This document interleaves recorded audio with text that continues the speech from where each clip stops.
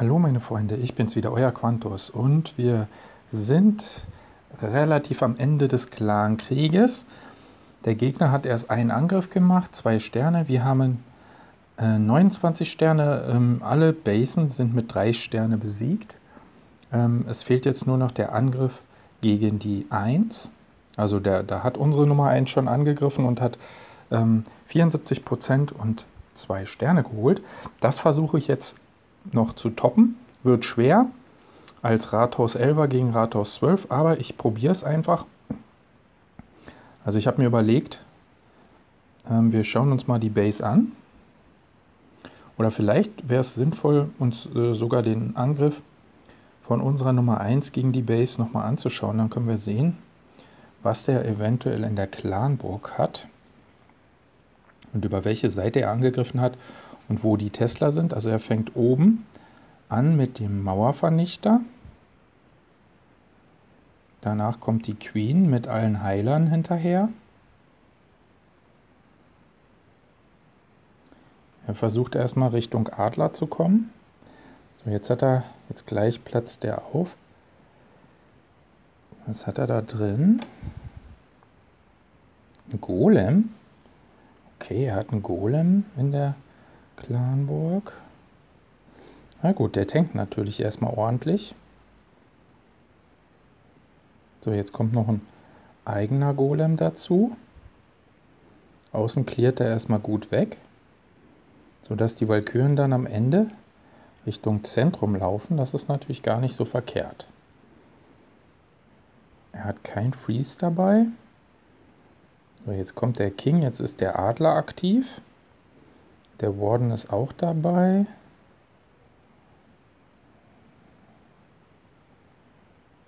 So, naja, der Warden ist fast gestorben.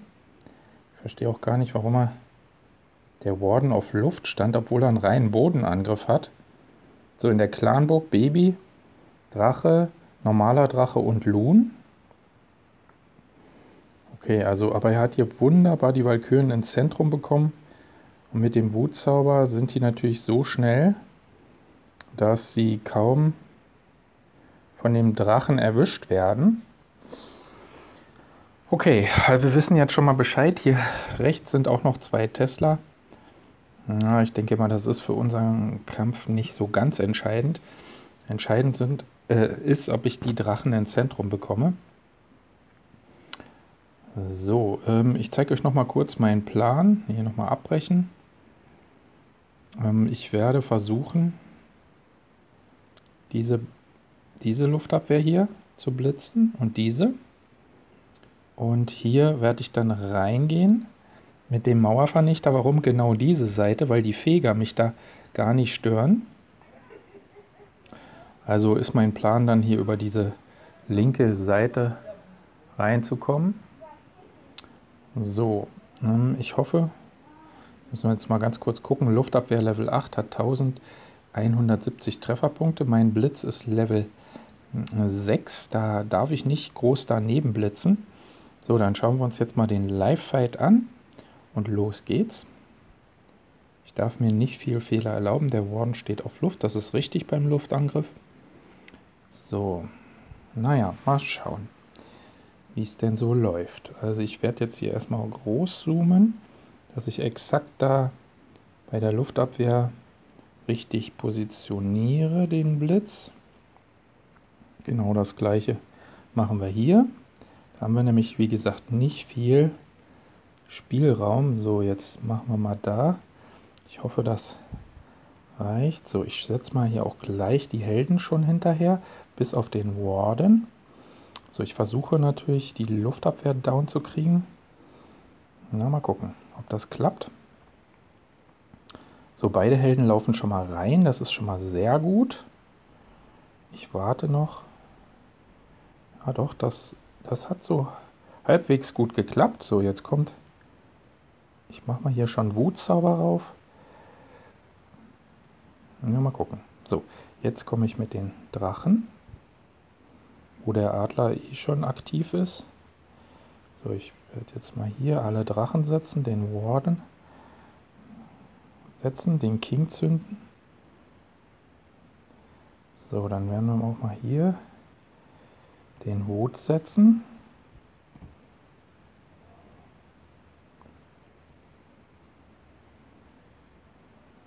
So, der Adler ist down. Jetzt mache ich mal die Drachen unsterblich. So, Rathaus ist down. Jetzt geht es nur noch um die Prozente. Naja, also ich tendenziell würde ich sagen, wird schwierig, da die Prozente zu toppen. 74 Prozent hatte der dir geholt, unsere Nummer 1, der übrigens auch ein Rathaus-Elfer ist. Da jetzt die äh, linken Drachen gegen die Luftabwehr kämpfen, kann ich mir nicht vorstellen, dass es eine Prozente Verbesserung gibt. So, der Warden, der macht jetzt hier den äh, linken Drachen auch noch fertig. So, das war's. 62%, keine Prozente Verbesserung. Entschuldigung. Ja, aber ich vermute mal, der Clankrieg endet in 2 Stunden und 36 Minuten, dass der Gegner gar nicht mehr angreift. Ähm, aber man, man weiß es nicht. Manchmal äh, greifen die tatsächlich dann kurz vor Schluss nochmal alle an. Ähm, wie gesagt, bisher nur ein Angriff. Ich, ich lasse mich überraschen. Wir können uns noch einige andere Angriffe ähm, im Clankrieg anschauen. Und zwar ja, unsere Nummer 1 hat die Nummer 2 mit 3 Sterne besiegt, mit Valkyren. Ja, ähnliche Taktik wie der Angriff gegen die 1. Mal gucken, wie er es ausgeführt hat. Ich selbst habe den Kampf auch noch nicht gesehen. Er startet ganz rechts mit dem Queen Walk und gleichzeitig mit zwei Golems. Ah, diesmal hat er keinen Mauervernichter eingesetzt. Der, äh, wie gesagt, links und rechts, äh, rechts die Queen mit den Heilern hinten dran und ähm, links die Golems mit ähm, Magier hinten dran. Den King und den Warden hat er noch gar nicht gesetzt. So, jetzt kommt der King dazu und der Warden. Der Warden steht immer noch auf Luft. Wieder eine ganz blöde Geschichte. Wir sehen das hier. Links ist der Warden jetzt schon so gut wie down weil die Luftabwehr auf den Warden geschossen hat. Ähm, ja, ich verstehe es auch nicht, wie man beim Bodenangriff den Warden auf Luft stellen kann. Also so richtig sinnvoll ist das in keinem Fall. Aber gut, er hat ja trotzdem hier dieses Rathaus mit drei Sternen besiegt. Also das Rathaus 10 ohne Infernos war dann doch zu schwach. Ähm, ja, so auf der linken Seite, die Walküren haben natürlich kaum eine Chance gegen die Lufttruppen aus der Clanburg. Die sind jetzt gestorben, die Walküren. Aber hier wir kriegen die Walküren das im Zentrum auch nochmal ordentlich zu tun. Jetzt sind die Heiler von der Queen gewechselt. Jetzt äh, heilen die ähm, die Walküren. Aber jetzt äh, ist es dann doch ganz schnell gegangen. Die Queen hat sich um den Adler gekümmert. Und ja, dann war es zum Schluss dann doch noch ein relativ sicherer Sieg. Es leben noch vier Walküren. Die Queen ist noch gut dabei. Und ja, jetzt nur noch der letzte Bogiturm. Der hat tatsächlich noch den letzten Heiler abgeschossen. Ähm, aber es wurden drei Sterne. So, dann schauen wir uns auch nochmal einen Kampf von mir an, der mit drei Sterne ausging. Ja, die ähnliche Base wie die Base, die wir gerade gesehen haben. Ich habe hier ähm, wieder zwei Luftabwehren geblitzt. Ich hatte ja in, in meinem letzten Stream die Drachen auf Level 6 fertig gemacht, also Maximum für Rathaus 11. Da bin ich auch recht froh drüber, dass ich das gemacht habe.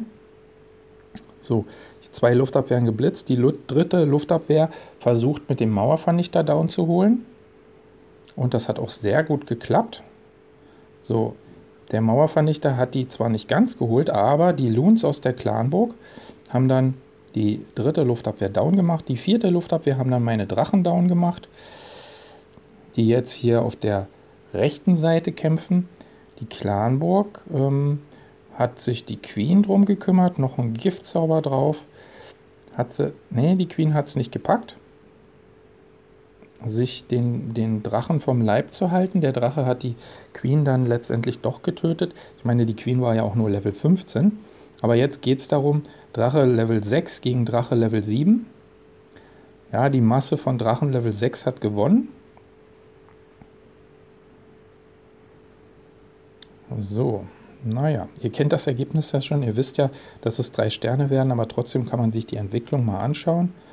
So, der X-Bogen war jetzt das noch gefährlichste, was noch am Leben war. Jetzt war nur noch ein Bogiturm da. Aber ihr seht, es waren noch ordentlich Drachen am Leben. Da sind zwei Drachen, drei, vier, fünf, sechs. Also mindestens sechs Drachen sind noch am Leben. Und ihr wisst ja, Drachen Level 7, äh, Drachen Level 6, die haben ordentlich Trefferpunkte. Ja, und dann waren das ja auch drei Sterne. Dann schauen wir uns nochmal einen unteren Angriff an. Also nicht von ähm, mir, sondern von einem anderen aus dem Clan. Gucken wir mal rein, was der interessanteste Kampf ist.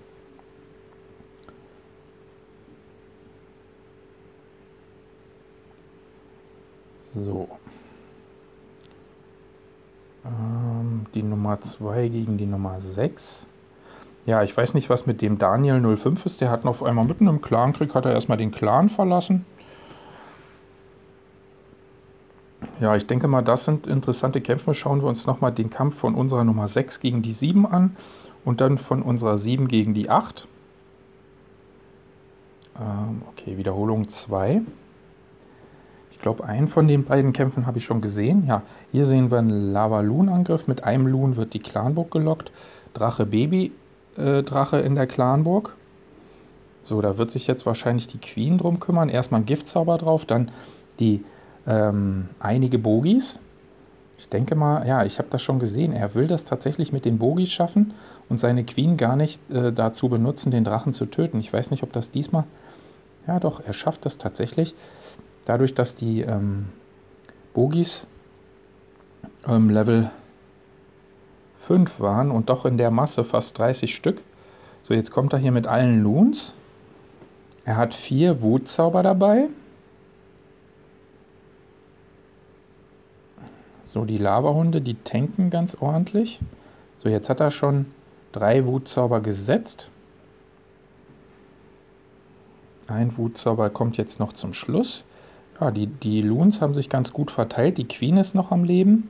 Ich hoffe, ja, also jetzt haben wir genau das. Die Queen kümmert sich um Lava-Puppy, äh, um Lavahund. Das ist natürlich super, weil der Lavahund hat ja ordentlich Trefferpunkte. Und ähm, zusätzlich, falls er platzen sollte, haben wir ja dann noch die Lava-Puppies zum Aufräumen, was ganz hervorragend ist. So, jetzt ist der erste Lavahund. Die Loons haben sich jetzt um die Queen gekümmert. Und dann kümmern sich noch ein paar Loons um den King und ein paar Lava-Puppies. So, jetzt hat er noch genug äh, Truppen zum Aufräumen. King lebt noch, Queen lebt noch. Äh, Loons hat er noch viele, Lava-Puppies. Und ja, jetzt hat der King sich noch um eine Skelettfalle, die auf Boden gestanden ist, gekümmert. Und jetzt machen wir mal hier zum Abschluss noch ein bisschen schneller. Ein Lavahund ist nicht aufgeplatzt.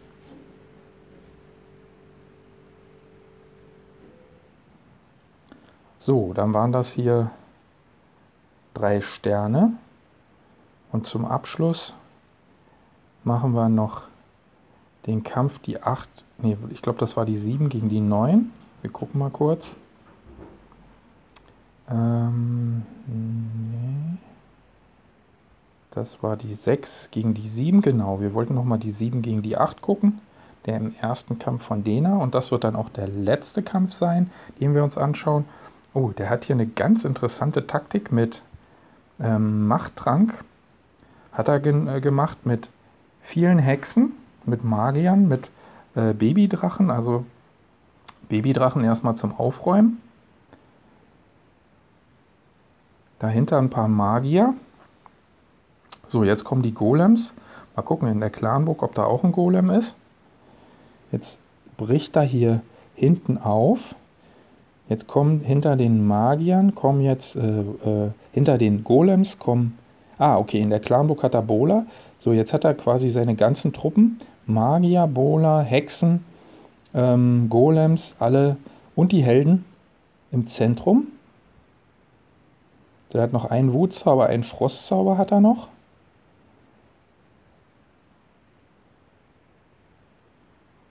Ja, so im. Das ist natürlich das Beste, wenn ähm, alle Truppen zusammenarbeiten. Da kann sich die Verteidigung äh, nicht quasi einzelne Ziele raussuchen. Also sie sind äh, damit überfordert, also zumindest die Einzelschadengebäude. Die Magiertürme, für die ist es natürlich gut, wenn die Truppen zusammen sind, aber für die Einzelschadengebäude ist es natürlich ganz schlecht. Ähm, so, jetzt haben wir hier aber die Hexen immer noch am, am Machen. Die kümmern sich ja um links äh, oben über, um den X-Bogen. So, mal schauen. Ja, Golem sind noch ein großer Golem und zwei kleine Golems am Start. So, wie viele Hexen leben jetzt noch? Da sehe ich noch eine Hexe.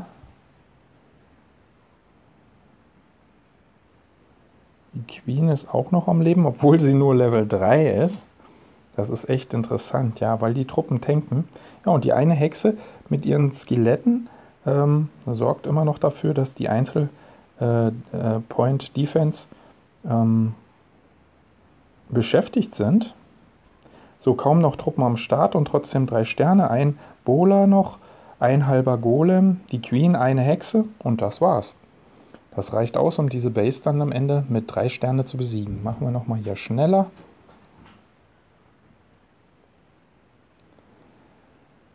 So, und ich hoffe, das war's von meiner Seite aus. Ähm, wir gewinnen hoffentlich diesen Clankrieg. Ihr werdet das dann im nächsten Video erfahren, ob wir diesen Clankrieg gewonnen haben oder nicht. Im Augenblick der Stand 29 zu 2. Und es sind aber noch 2 Stunden 25 Minuten Zeit zum Angreifen. So, das war's dann wieder von mir. Ich sage Tschüss. Falls es euch gefallen hat, würde ich mich über einen Daumen nach oben freuen. Ähm, falls ihr Verbesserungsvorschläge habt oder ein, irgendeinen netten Kommentar, könnt ihr das gerne auch in die Kommentare schreiben. Und wenn ihr mich noch nicht abonniert habt, würde ich mich natürlich auch sehr über ein Abo freuen. Das war's dann von mir. Ich sage Tschüss, noch einen schönen Urlaub für euch und für mich. Bis dann.